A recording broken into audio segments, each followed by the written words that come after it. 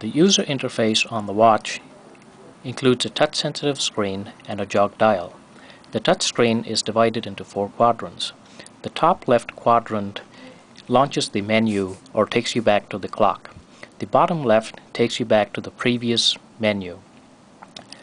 The top right and the bottom right are reserved for the application. So for example, on the clock screen, selecting the top left launches the application menu. You can select a particular item on the menu list by rolling the jog dial.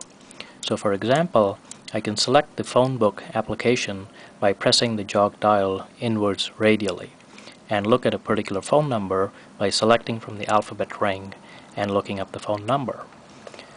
I can go back to the previous menu by pressing the back button and I can take a look for example at the calendar application and look at what entries I have for a particular day.